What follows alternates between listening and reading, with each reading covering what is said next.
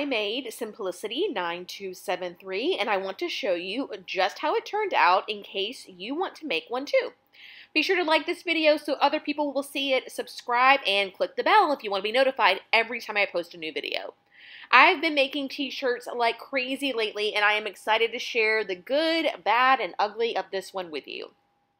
Simplicity describes this pattern as a knit top with a scoop neck and options for gathered, pleated, and cap sleeves. I made view B, that's the same one the model is wearing.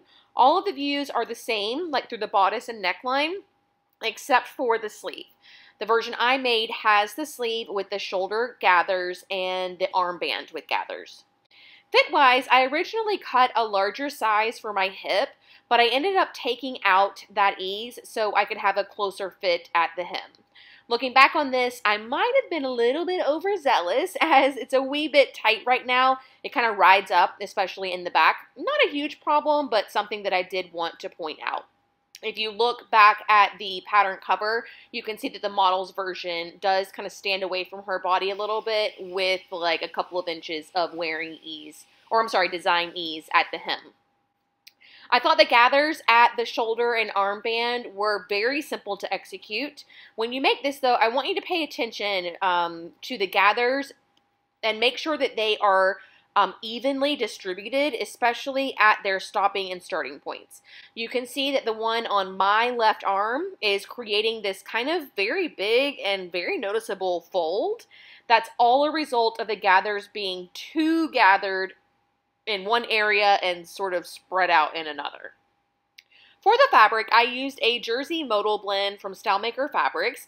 This is the same knit I used to make my Love Notions Classic tee. It is pretty pricey, I know, but it's extra wide, and so I was able to cut this entire top out of one yard of fabric, which is especially impressive considering how wide the sleeve piece is.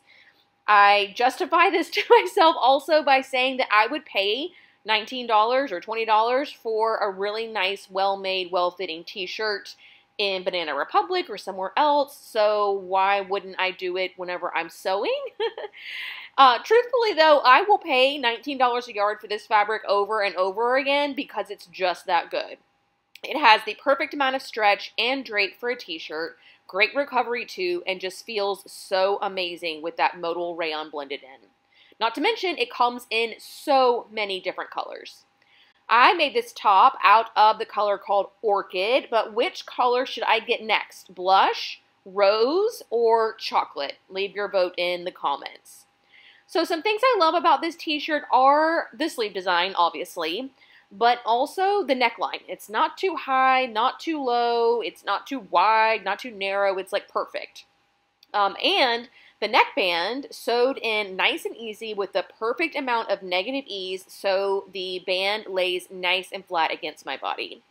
There's not much that I hate about this pattern, but if I had to pick something, I'd say the design ease at the hip. Grading out of the hip was too loose, going down a size is too small. It's just a little bit of extra brain power that I have to use to figure that one out to get the perfect fit. Um, not that it can't be done, not that it's super difficult, it's just one little extra thing I have to think about. And as I said before, just look out that your gathers are nice and even across the span of the gathering area on your shoulder. If anything, they should be more tightly gathered on top of your shoulder, but try and get them as even as possible so that you avoid any like egregious folds like I have. If you want to learn some of my favorite tips for sewing garments like this one, download my Ultimate Garment Sewing Guide of Guides.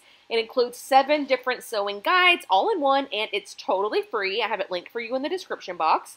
And if you like to see what I've made, I post a video just like this one every Monday reviewing a different pattern and modeling uh, the make for you. I've linked last Monday's video for you, which reviews the Made for Mermaids Alana dress. But that's going to do it for me today, y'all. Thank you so much for watching, and I will see you all very soon. Bye!